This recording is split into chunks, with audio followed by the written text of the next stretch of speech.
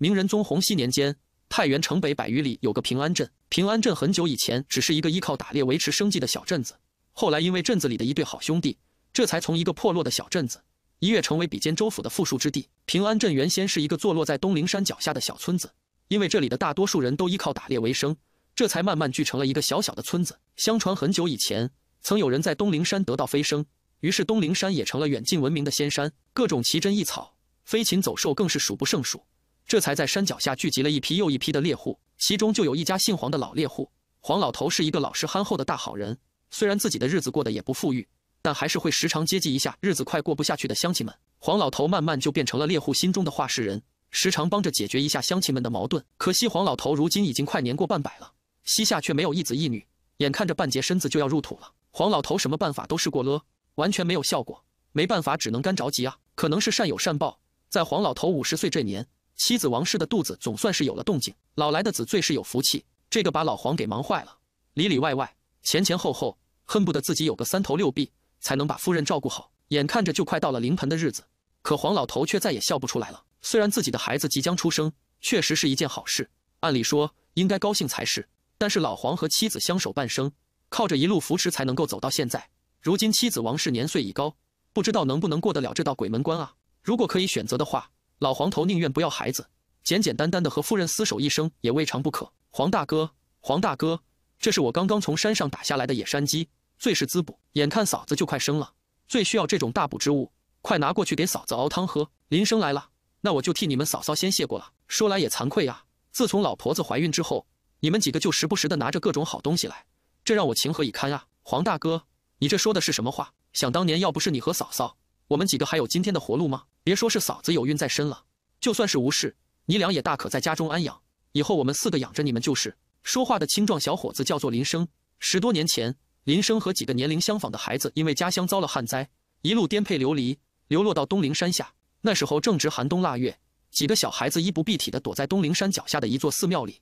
恰巧上山打猎回来的黄老头看见他们几个，直接将身上的狐裘和吃食全都给了他们几个，还把他们几个都带回了家。妻子王氏对这几个丈夫带回来的小孩子更是疼爱有加，虽然家里本就没有多少积蓄，但还是三天两头的就给几个孩子开开荤。过完了这个冬天之后，黄老头更是将自己多年的打猎本领都倾囊相授，这才让几个十几岁的孩子有了谋生的行当。我们几个无父无母，若不是当年承蒙兄嫂的恩情，恐怕早就是冰天雪地的几具冰雕了。若是一点都不知道报答的话，那和山林间的野兽有什么区别？黄大哥，你就只管安心照顾嫂嫂。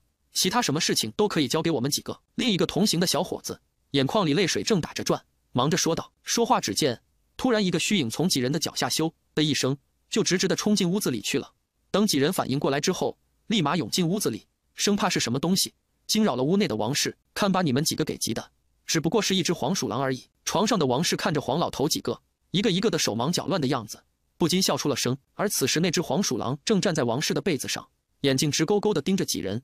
然后一溜烟又跑出去了，几个人还没反应过来是怎么回事呢。年龄最大的林生开口了：“黄大哥，嫂子，黄大仙进屋了。我听人说黄大仙进屋是大大的吉兆啊，这下非但不用担心嫂子的身体，黄家以后估计是要出个什么了不得的人物啊。或许林生也不知道，几十年后的某一天，还真被他给说中了。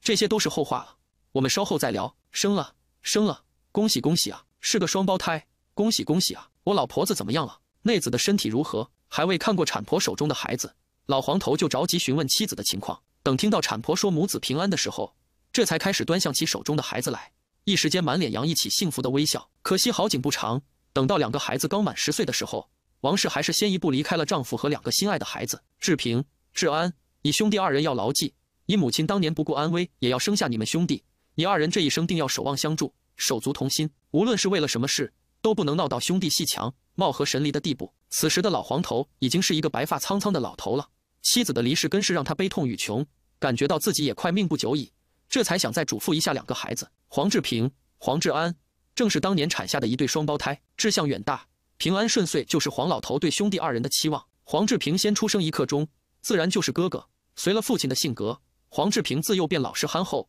上山打猎是一把好手，但是一读书就犯浑，总想睡觉。而弟弟黄志安恰巧相反，拉弓射箭是一窍不通。但是酷爱读书，不到十岁就能认得书里的大部分文字。起初老黄头对两个孩子都略有遗憾，但后来想想一文一武也实在妙得很，这才宽下心来。黄老头走的那天，恰巧也是皑皑白雪。林生带着兄弟四个陪着志平、志安，送走了一身凄惨的黄老头。冰雪消融，一切都好像没发生过一样。时令就又到了清明，你们兄弟俩这是也准备上山去了吗？记得帮我给你父母多上一炷香，告诉他们我们几个想他们了。东陵山在蒙蒙细雨的缭绕中显得格外神秘。看着志平、志安兄弟俩从自己门前路过，林生悲从心来，又想起了几十年前的往事。如今黄大哥和嫂嫂已经走了，因此他们几个对这兄弟俩格外照顾。好，林大叔，我一定带到。那我们兄弟俩就先走了。此时的俩兄弟已经年仅弱冠，也到了该娶亲的年纪。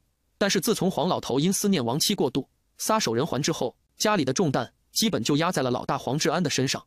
弟弟黄志平一心钻在书本中，别的事啥也不会。虽说黄志安打猎的本事确实得到了父亲的真传，但是十几年来的围猎，现在东陵山上的野兽是少之又少。为此，为了兄弟两人的生活，黄志安还自学了木匠这门手艺。每天除了山上打猎之外，还会给别人修补一下器具。凭借着精湛的木匠手艺。兄弟俩的生活倒也说得过去。平安镇翻过东陵山就是朴泰县，县里有个姓柳的大户，柳家是是棺木生意的。十里八乡但凡有人故去，都会到这里来订一副上好的棺木。黄志安无事的时候，也会来棺材铺帮忙打打下手。柳家有一个女儿，名叫柳月如，生的一双丹凤眼、水蛇腰，可已经到了二十五岁的年纪了，也没有一个媒婆上门提亲的。按理来说，柳家在当地也算得上大户人家，就这么一个独女，再怎样也不至于没人愿意娶啊。传言柳月如待字闺中的原因主要有两个，第一就是因为柳家做的死人的生意，虽说死者为大，但是多多少少有些晦气，娶一个这样的女人回家，恐怕会有损自己家的气运，更怕折了自己的阳寿。其二就是传言柳月如十八岁的时候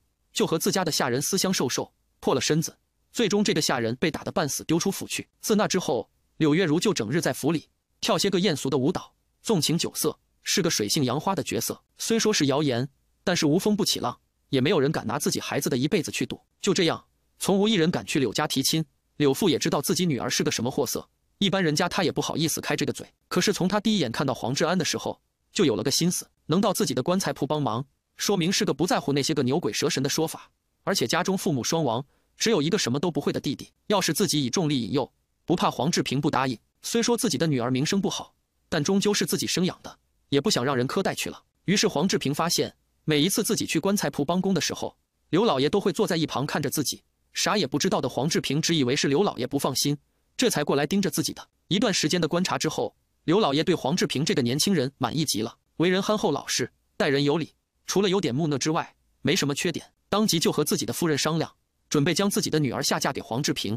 虽然不想自己的女儿嫁到穷苦人家去，但只要自己多多照拂一下，也不用吃什么苦。志安啊，想必你也知道，我有一个女儿待字闺中。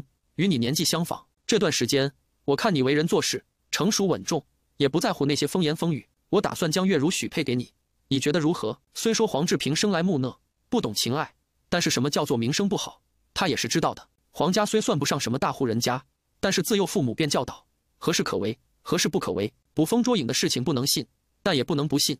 于是张口便要拒绝，也不着急回答。你回去好好考虑考虑。我知道你和你弟弟从小相依为命，你弟弟自幼体弱多病。全靠你一人照顾。要是月如过去了，自然不会苛待治安的。听到这番话，倒是打消了黄志平的一些顾虑，但是他还是没有急着回答，而是迟疑之后，承蒙刘老爷抬爱，虽说自己父母早亡，但成亲是大事，还容我回去和弟弟商量一下，然后再来回复。晚上回到家之后，治安已经准备好了饭菜。虽然黄志安什么都不会，但还是跟着林生大娘学了几道简单的家常菜，这样哥哥回来的时候，至少还有点热菜热饭吃。兄长。我打算明年进京赶考，我对自己有信心，此番进京必定为我们黄家挣一番前途回来。光要我们黄家门楣，真的吗？如此甚好，安弟，你只管用功学习，其他的都不用担心。哥哥我什么本事没有，只有一身的力气，这辈子是没什么希望了。如若你能踏上仕途，也算是光宗耀祖了。兄弟俩躺在同一张床上聊了一晚上。自从长大之后，怕耽误弟弟学习，俩兄弟就没再在同一张床上睡过。如今偶尔一次，还是儿时熟悉的感觉。第二天天蒙蒙亮，黄志安又准备去棺材铺帮忙。他已经下定决心要迎娶柳家女儿了。一是他了解自己弟弟的脾性，倘若弟弟只身赴京，必定时时担心自己在家一人是否安好。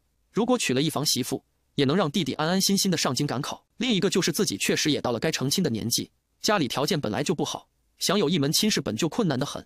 如今眼看着一门亲事送上门来，万没有拒绝的道理。日上三竿，黄志平已经走到了半山腰的位置。看着眼前的绵绵群峰，想着弟弟高中后的场景，心情大好的黄志平啊的大叫了一声，没想到还有人回话：“有人吗？是有人在上面吗？能听得到吗？”一道娇柔的声音从路的那一边传了过来，黄志平立刻跑了过去，才发现一个瘦弱的女子正坐在猎人挖好的深坑里，哀嚎着：“姑娘，你还好吗？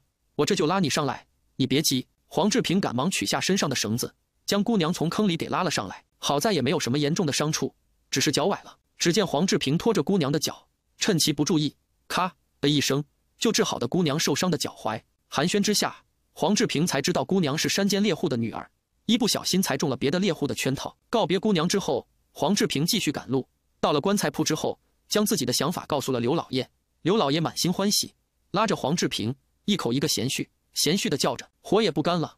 两个人就开始大碗喝酒，大口吃肉。等到新婚前的头一天晚上，黄志平才将自己要成亲的消息告诉弟弟。果然如他所料，一听到自己要成亲的消息，黄志安就说这样自己上京赶考，就不用再担心自己一个人是否安好了。黄志平看着好像比自己要成亲还高兴的弟弟，思绪又飞到了小时候，父母还在身边的场景，渐渐的眼泪就润湿了眼眶。第二天，张灯结彩，锣鼓喧天，鞭炮齐鸣，整个平安镇的所有乡亲全都来参加了黄志平的婚礼。整个过程中，最开心的就是黄志安。不知道的人还以为新郎官是弟弟黄志安，而不是哥哥黄志平呢。父母走后，哥哥一直是自己最爱的人，如今哥哥成亲，黄志安自然是高兴的很。这也是二十几年来。他第二次喝醉，第一次是在父亲走的那个晚上，兄弟两人坐在空荡荡的房子里，边哭边喝，醉了三四天。结婚之后，柳月如的脾性就慢慢暴露了出来，非但什么事都不敢，还开始在丈夫的耳边嚼舌根子，说弟弟黄志安什么事也不干，只会吃白饭，让丈夫早点和弟弟分家之类的各种话。起初张志平也不理睬，只当是富人家每天找不到事做，就喜欢说些有的没的。而且柳月如多多少少也算是个富家小姐，脾气古怪了些，也算是正常。并没有和他过多的计较，可有一次他忙完回家的时候，竟然看见柳月如站在门口，纤纤细指，指着弟弟黄志安破口大骂。黄志平见状之后，直接给了柳月如一巴掌。要知道弟弟就是自己的命，除了父母，没有任何一个可以辱骂，而且还骂得这么难听。了解过事情之后，才知道是弟弟给柳月如倒茶的时候，不小心烫伤了柳月如的手，于是柳月如便把黄志安拉到门前，大声训斥了起来。起先还只是训斥，等到瞅见黄志平回来之后。就开始大声辱骂，为的就是激怒黄志平，好让父亲退了这门婚事。事情很快就传到了刘老爷的耳朵里，但他没有责怪黄志平，而是严厉苛责了自己的女儿。